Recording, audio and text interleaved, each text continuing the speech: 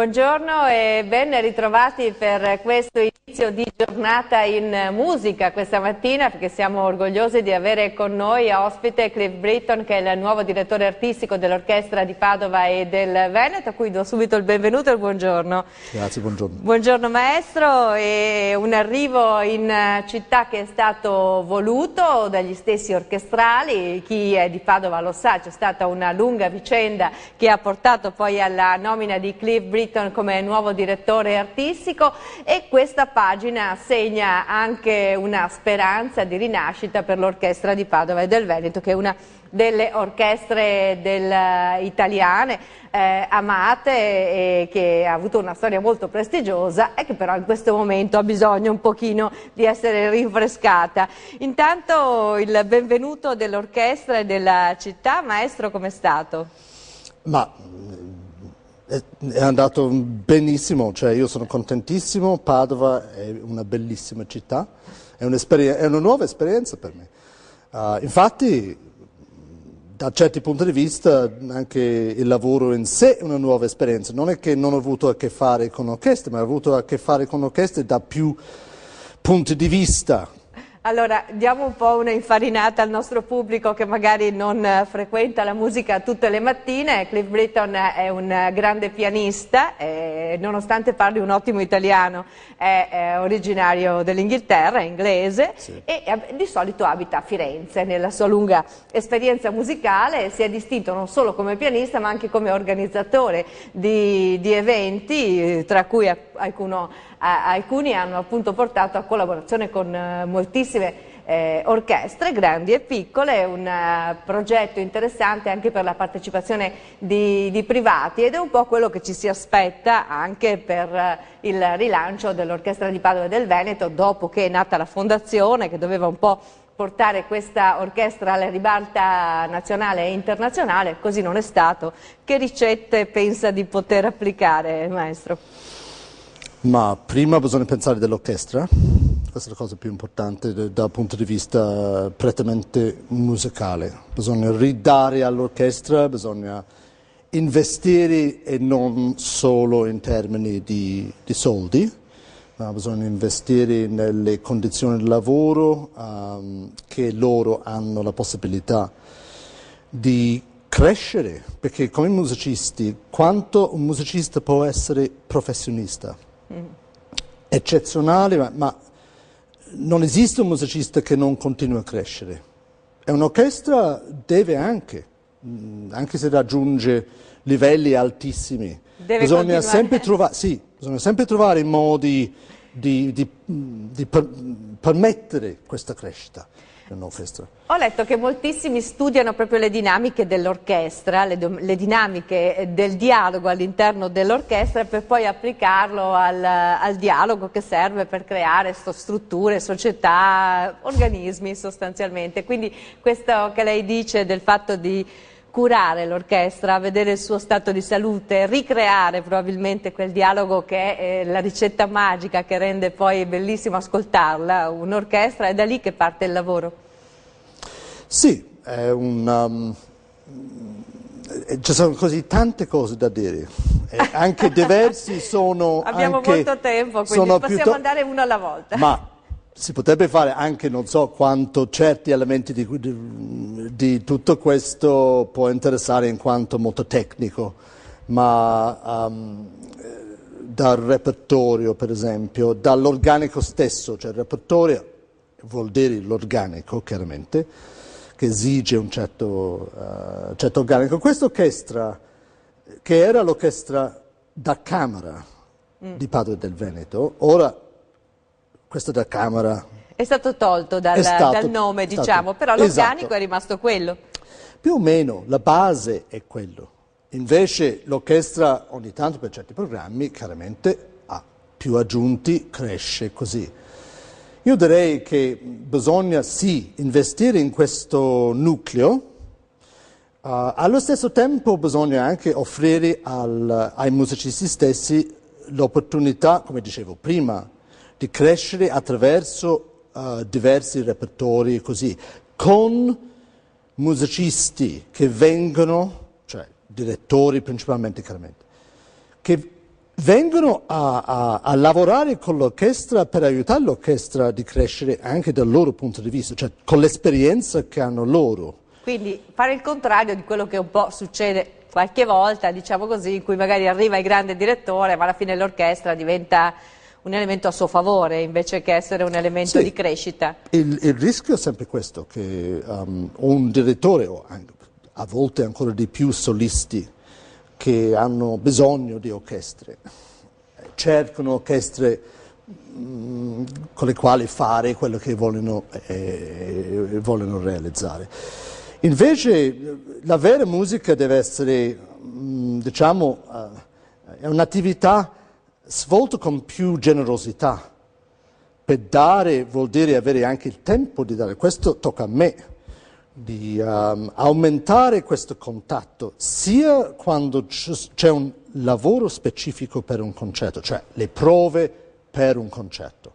Ma oltre quello, se troviamo qualcuno che va molto d'accordo con uh, l'orchestra, è importante che tornino certo. a lavorare per creare diciamo, un lavoro, per poter lavorare con più conseguenzialità. Questo è indispensabile. Allora, la prossima domanda, forse, che mi farebbe, è allora un direttore stabile? Eh sì, perché quello... una brutta eh. esperienza da questo punto di vista, ma insomma in passato. Ma anche una bella esperienza con Peter Mag. Che, Peter Mag che, sì, non, che... era stato un direttore, non proprio un direttore stabile, è no, stato direttore di fatto dell'orchestra. Ma è stata una figura di questo, di questo Assolutamente, genere. io l'ho conosciuto, direttore sì, Mag, sì. un personaggio indimenticabile nella storia della musica, non solo sì. dell'orchestra di Padova e del Veneto. Ma è un discorso comunque che bisogna affrontare, ma non subito, perché ci sono uh, direttori pochi devo dire, ma sono direttori che sono specializzati quasi, non perché loro pensano di essere specializzati, sono bravi a costruire, diciamo, orchestre, cioè aiutare almeno orchestre di uh, strutturarsi um, e sono questi che voglio invitare, anche più di questi, perché ognuno porta cose molto specifiche. Possono essere um, diciamo, esperienze più verso gli archi piuttosto che i fiati, per esempio. Ma la prossima stagione, che non posso anticipare... Eh, questo ecco. è un problema, però io prima di, di, di, questa intervista ho avuto modo di scambiare due parole con il direttore e mi ha detto che lui, lei ha già le idee molto chiare. Sì, sì. La stagione per il nostro pubblico bellissima, tra l'altro che si è appena iniziata a, a Padova è, è, stata ideata dal direttore artistico uscente Filippo eh, Juvarra e adesso ovviamente il direttore eh, può operare con un po' più di tranquillità per eh, la prossima ah, stagione. Già si pensa alla prossima stagione e vedremo che sorprese. Peccato che ne, neanche una non ne può anticipare. neanche una, ma principi sì, come stavo dicendo, cioè di avere principalmente quattro direttori di ah. questo genere che torneranno più volte. Che bello. Così spero in una, in una stagione, eh, portando chiaramente ad una prossima, perché è un lavoro ovviamente che deve andare avanti. Comunque eh, questa costruzione è di, è corso, di, diciamo. di, di regalare il più possibile ai musicisti.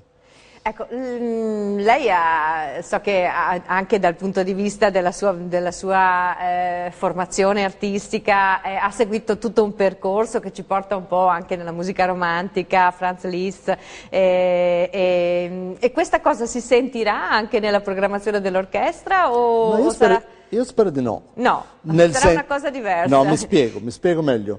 Nel senso che io credo nella quasi severità di approccio per quanto riguarda la, la musica del, dell'Ottocento. Uh, spesso e per, secondo me, troppi anni, uh, musicisti uh, trattano la musica romantica cosiddetta per la sua, diciamo, emotività, per la sua libertà, queste cose qua, ma non è assolutamente vero. Cioè una grande esecuzione di musica romantica deve avere applicato una disciplina uguale a Bach. Sì, o, o, o, qualsiasi approccio più o classico. O, sì. Dico Bach perché lì si sperimenta, diciamo così, la, la, la più rigorosa eh, esperienza di varie orchestre del mondo che proprio per la filologia musicale si sono caratterizzate. Ecco. Sì. Anche se stavo per, per eh, insomma, un po' di polemica che da certi punti di vista Bach ci lascia più libertà che altre musiche in realtà. Ma insomma, questo è un discorso lunghissimo che forse a questa ora no, la mattina guardi, forse no. No, no, no, ma ci sarà senz'altro qualcuno che Bach lo frequenta e lo conosce, io poi amo moltissimo le variazioni Goldberg, Glenn Gould mi piace moltissimo, per cui per dire penso che molti potranno capire le sue parole, anzi la musica deve diventare parte della formazione di ognuno di noi, io sono fermamente convinta di questo perché, perché ci fa crescere meglio, come una bella opera d'arte, come un bel libro, ascoltare un bel brano, sapere che cosa stiamo ascoltando ci aiuta a vivere meglio, insomma credo che che, che questa, anche questo sia un aspetto che mh, nella storia dell'Orchestra di Padova e del Veneto è sempre stato molto importante, il fatto di rapportarsi col pubblico, con i ragazzi, con i bambini e, e penso che questo continuerà anche con la sua direzione. No, vorrei investire di più, più tempo, più idee, um, perché con, con uh, le scuole, con i ragazzi bisogna anche uh, vedere che cosa veramente interessa. Cioè non tutti possono avere un'esperienza di suonare o qualcosa, la maggior parte no. Ma spesso, secondo me, i musicisti um, un po' prendono certe cose per scontato. Cioè, il mistero di un'orchestra, cioè come, di come funziona un'orchestra. Eh sì, eh. È una cosa che un musicista dice, ah ma è ovvio, è normale. Cioè, ma, di dirlo in normale. termini molto molto poveri, ma come parte l'orchestra? Uno fa un gesto. Quindi uh, vorrei indirizzare uh, questa, uh, questa esplorazione per i giovani più sulla funzionalità dell'orchestra. E anche le orchestrali, abbiamo fatto di recente un evento e devo dire che le orchestrali erano ma, geniali, erano così aperti con questi bambini vicino a loro. E, e questo apre tantissime, tantissime opportunità. Ma c'è un progetto bellissimo che la Regione Veneto finanzia purtroppo soltanto per Verona, che lo fanno con la, la Fondazione Lirica Arena di Verona e che porta i bambini a fare un'esperienza di, di, lirica. Loro mettono in scena proprio la Ida sostanzialmente o la Butterfly, quello che è, e, e lo fanno in maniera molto seria e rigorosa e si divertono come mm, matti. Mm. Questi bambini imparano moltissimo ad amare veramente la musica e a conoscerla nel senso in cui lei proprio mm. eh, esprimeva adesso. Eh, sarebbe proprio tanto bello vedere, vedere, anche a Padova e in altre realtà venete una, una cosa di questo tipo. Assolutamente, sì, sì, sì. Infatti anche con la lirica è molto bello creare, forse non si fa tutto, ma si può creare una sintesi ah, sì, certo. di, di un'opera così... Eh... eh sì, solo per dare l'idea di quello che potrebbe essere una... lavorare in un'orchestra sostanzialmente. Sì, sì, sì. Ascolti, ma eh, diciamo che la, lei, lei, la conosceva l'orchestra di Padova del Veneto, aveva già avuto modo di collaborare qualche volta o, o è sì, per sì. lei prima, no, il primo contatto? No, no, no, no, no, no. Uh, una volta, tanti tanti anni fa. Quanti uh, più o meno, diciamo? Eh, no, fra, veramente 15 anni fa. 15 anni fa. E, e, poi l'orchestra, certo, uh, l'ho sentito più volte. Uh, è un'orchestra che devo dire che, malgrado certi problemi più recenti, la cosa che mi interessava molto è, è che certe qualità di suono, eccetera, le ho viste ancora. Non per dire che l'orchestra sta così male, non è quello, ma è come una persona che non è, diciamo, uh, nel diciamo, pieno delle contentezze, della, della, della felicità. Uh, ma comunque la cosa importante è che ho sentito queste qualità ancora. E secondo me c'è già questa base su quale costruire, piuttosto che disfare tutto e poi si ricomincia, cioè grazie, questo è meglio, meglio evitare. Non c'è bisogno. Uh, comunque il, la, la, ricostruzione eh, è, una, è qualcosa da fare con, con grande attenzione, con, a fare insieme ai musicisti. Cioè io non credo che potrei fare quello che vorrei fare in questi prossimi un, due, tre anni senza la collaborazione dei musicisti. Il fatto che gentilmente hanno, uh, mi hanno diciamo, scelto, proposto, um, sono, sono, molto grato, sono molto contento, ma principalmente credo che è quella la premessa che può fare la differenza, perché senza un accordo di come lavorare con i musicisti, arrivederci.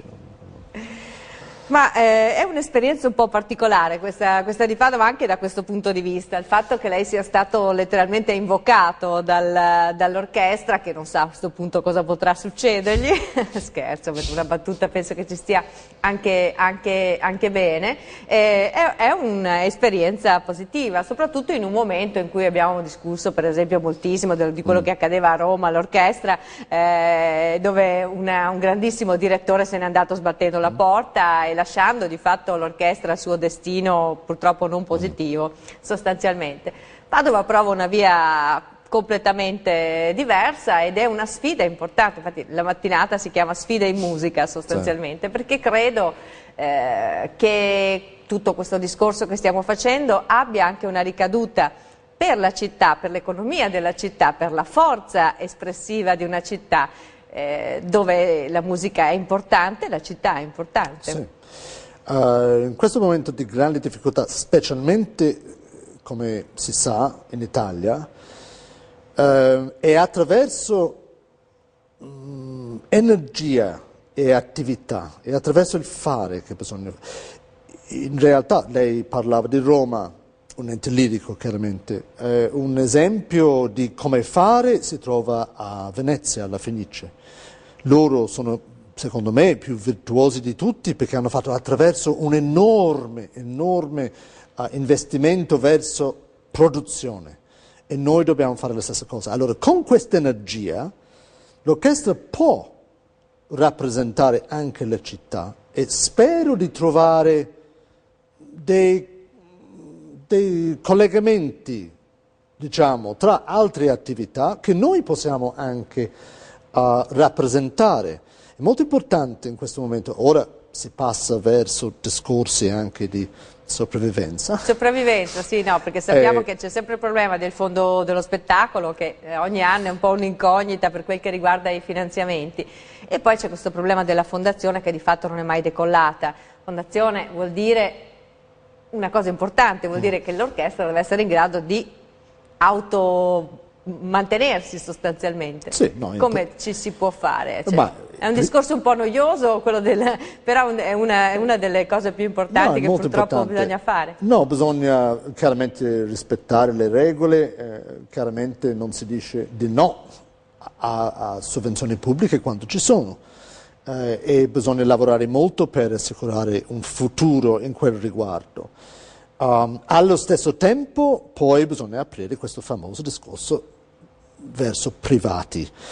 L'unica cosa che penso molto fortemente è, è giusto parlare di realtà private, ma bisogna rispettare queste realtà. Non si può più, perché il mondo non è più fatto così, non si può andare da o so, imprenditori, società varie, banche, eccetera, a giustificare la richiesta di uno sostegno per il puro fatto che si tratta di cultura. Bisogna essere molto molto più sofisticati, bisogna chiedere quali sono gli obiettivi di queste uh, società, mettiamo, um, dove vogliono andare, vogliono andare all'estero, si può fare questa avventura insieme, per esempio, l'orchestra, che spesso una realtà culturale e continua ad essere molto molto um, giustificato questo approccio, apre porte, non c'è verso, si va in Cina, si va in America, si va così, apre porte per altri. Quindi è importante che collaboriamo in un modo cap- capendo le esigenze uno dell'altro. E a quel punto si può ragionare. Ma io sono molto nuovo, quindi in questo momento sto cercando di mettermi in contatto con queste realtà del territorio, quindi o fuori dal territorio? Perché io so che lei ha già fatto esperienza appunto con, uh, con alcuni festival mm-hmm. per, per, quel che riguarda questo approccio. Ma eh, si tratta di realtà, diciamo, a Padova, chiaramente nel Veneto, oppure si porta semmai l'estero verso il Veneto. Questo uh-huh. è un altro approccio. Certo. Quando, e anche lì bisogna fare eh, tante ricerche, cap- capire quali sono gli, gli obiettivi. Semmai mettiamo, sparo, una banca americana che di nuovo guarda il nord-est come, come questo, questa realtà molto, eh, come era almeno, spero che ancora. Ah, sì, e sarà, sarà, speriamo. Appunto. uh, ma... A questo proposito devo interromperla un attimo perché abbiamo un piccolo break pubblicitario, poi ritorniamo in due minuti e continuiamo l'argomento e vorrei anche parlare un po' di lei come musicista, mi piacerebbe che anche il nostro pubblico la scoprisse un po' di più. Da, tra pochissimo, ecco qui.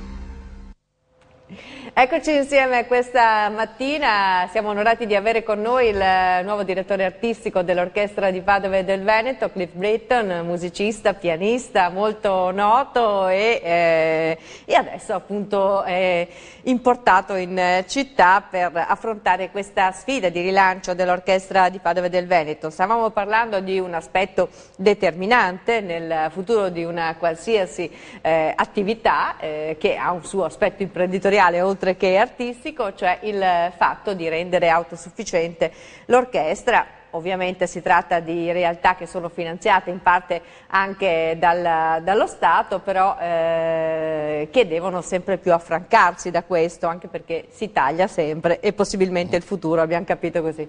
Il direttore Cliff Britton auspicava un ritorno agli splendori del, del Nord-Est, un ritorno che si fa anche attraverso iniziative come, come questa. Sì, spero. Spero molto, sarebbe una bellissima cosa. Si è già pentito di quello che ha detto. No, no, no, no, no, è quello che può fare l'orchestra in, tutto questo è molto importante molto, molto importante. Ecco, l'affezione del pubblico anche è, una, è un ingrediente importante, portare eh, a questi concerti un pubblico anche giovane, perché il problema del ricambio generazionale eh, riguarda un po' no, le attività culturali classiche, diciamo così, dal teatro stabile all'orchestra di Padova, ad altre formazioni. Anche questo, eh, a, a, questo ha pensato? Sì, io eh, con l'età che ho ho visto anni 70, 80, 90 in più paesi, di come affrontare questo, questo tema, che è, un, che è, un, problema che non esiste solamente in Italia, ovviamente. Certamente. In America, in Inghilterra, in Francia, tutti hanno cercato da, da lasciare, non so, la rosa sul, sul posto a giochi, a, non so, direttori che si vestono in certi modi, vabbè questi sono abbastanza superficiali. Strategie, esempi. diciamo, di immagine. così. Io penso comunque in un altro modo. Io penso che è la forza espressiva della musica, cioè è una cosa che forse abbiamo anche un po' dimenticato. Il nostro mondo non è perfetto, sappiamo questo, artisticamente il mondo musicale è ad un alto livello, diciamo, di base ma interpretativamente la forza dell'esecuzione dovrebbe essere tale di cambiare la vita alla persona che ascolta, ma cambiare radicalmente. Sorrido perché eh, io so che lei dice queste parole perché ha sempre seguito anche gli orientamenti di Claudio Arrau, eh, che eh, è un famosissimo musicista che, che, diceva proprio la forza dell'espressione che cambia eh, la vita delle persone e lui aveva rallentato eh, l'esecuzione proprio per rendere ancora più percepibile questo aspetto. Non l'hai rallentato così in un modo pensato, no, uh, ma col crescere, col maturarsi è arrivato ad una, una, una, una libertà disciplinata di esecuzione, sì, che aveva questa forza. Infatti era a volte criticato perché era quasi troppo, era quasi troppo esigente. Io non capisco come un'esecuzione può essere troppo esigente se è fatto in un modo vero e giusto. Ma è vero quello che diceva, lui era più carino comunque, era, casomai era più realista di me. Io ho detto che dovrebbe cambiare la vita a tutti. Invece lui diceva a noi allievi, lui diceva di andare sempre in palcoscenico sperando o con l'intenzione di cambiare la vita ad almeno una, una. persona dentro il pubblico. Che bello. Che era molto bello questo. sì, molto bello. Sì, sì. Sto pensando a me qualche, volta quando guardo un concerto che penso, ma cosa penseranno quelli che mi vedono lì così tutta messa? Magari penseranno questa cosa che sta dicendo lei, che è quello che si aspetta, ci si aspetta di essere trasportati in un altro mondo, in un altro pianeta, di vivere quel momento come un'esperienza profonda anche spirituale da, da, da, tanti punti di vista. Poi ovvio che se uno ascolta un, tipo di musica magari è più facile che, che, per altre cose, magari ascoltando Strauss uno viene in mente invece un'esperienza di divertimento o cose di questo tipo. Strauss, Dipende da quale Strauss. Strauss viennese. Sì, viennese sostanzialmente. E, ed è bello, ed è, è comunque bello, insomma, sia, sia dal punto di vista della meditazione che dal punto di vista dell'allegria, la musica dovrebbe sempre fare un pochino questo effetto. La sua vita artistica come risentirà di questo impegno che si è preso? Perché lei ha detto non salirò sul palco con l'orchestra no. di Padova e del Veneto. No, no. Perlomeno non per la prossima stagione. No, no, no, no, no neanche quello. Io penso che sia giusto perché l'orchestra um, deve avere i riflettori sull'orchestra. Um, l'orchestra ha fatto il supporto per tantissimi musicisti che secondo me forse potevano dare indietro più all'orchestra. Mm. Um, e per quello infatti posso dire che forse verrò criticato per questo, ma la prossima stagione, anche se ho detto che non dirò nulla, ma comunque piccole cose forse dirò, che la presenza di concerti con solisti sarà molto meno del solito, mm. perché voglio che l'orchestra abbia proprio il eh, posto centrale um, come protagonista.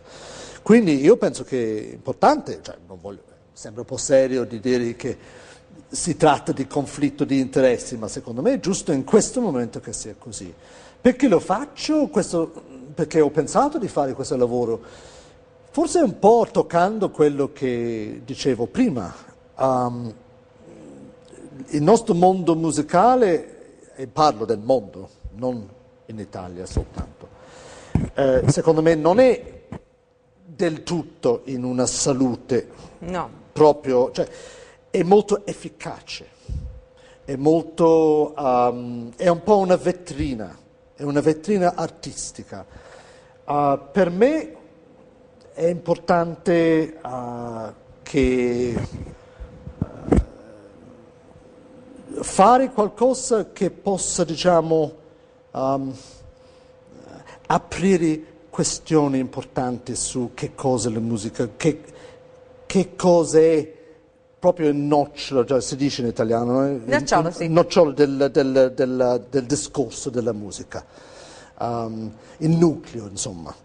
Um, eh, e, e, portare questo fuori, eh, legando anche a quello che dicevo sulla, sulla, forza di esecuzione forse espressiva della musica stessa.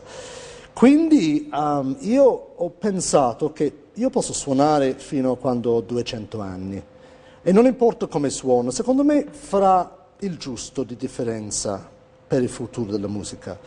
Un, un'orchestra così se si fa un lavoro, se si riesce a fare un lavoro straordinario, secondo me si può, se posso dirlo, forse creare più polemica. Più polemica per porre queste questioni, portare queste questioni anche in giro per il mondo. Um, vediamo, vediamo. Un esempio solo di questa polemica? No, è, è su, per me è ora forse suona un po' religioso quasi, ma Io credo molto nel, nell'etica dell'arte, l'etica della musica. E forse è questo che ogni tanto non, uh, non si fa vedere uh, tutto il tempo.